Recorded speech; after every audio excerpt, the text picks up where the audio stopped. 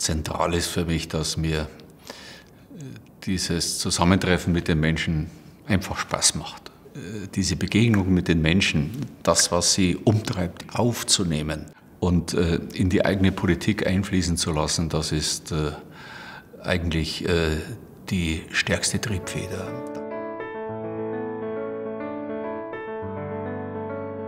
Die Sorgen, die wir haben, die sind entstanden durch äh, die Zuwanderungspolitik der letzten Monate, aber auch diese Sorgen bewältigen wir ganz hervorragend, sodass ich insgesamt sagen kann, äh, Bayern ist äh, gut drauf.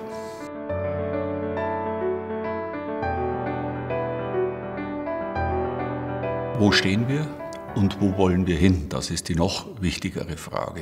Wie wollen wir Bayern in die Zukunft, in die nächsten Jahre führen? Das ist ein ganz wichtiges Anliegen, äh, die Sicherheit unserer Bevölkerung. Ich glaube, die wichtigste Aufgabe eines Staates. Äh, das Zweite ist äh, die Beherrschung der Zuwanderungsfrage. Wir wollen Humanität und Integration, aber beides wird nur gelingen mit einer jährlichen Begrenzung der Zuwanderung. Ohne Begrenzung werden wir Humanität nicht gewährleisten können und wir wollen Humanität gewährleisten als christlich geprägtes Land.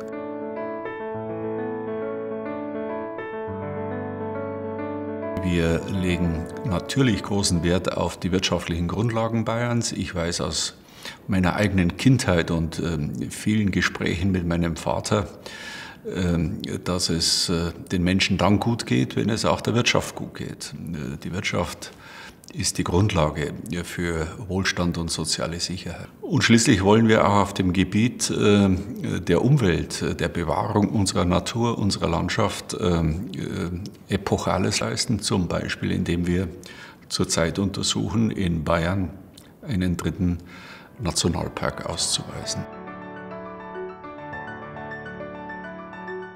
Bei der Frage äh, an die Menschen, warum lebt ihr gerne in Bayern? Äh, kommt an erster Stelle äh, der Zusammenhalt, das Füreinander einstehen. Und das ist eine, ein großer Markenkern Bayerns.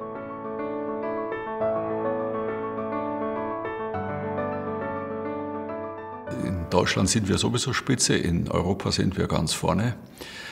Und äh, dass es so bleibt, dafür muss man viel tun.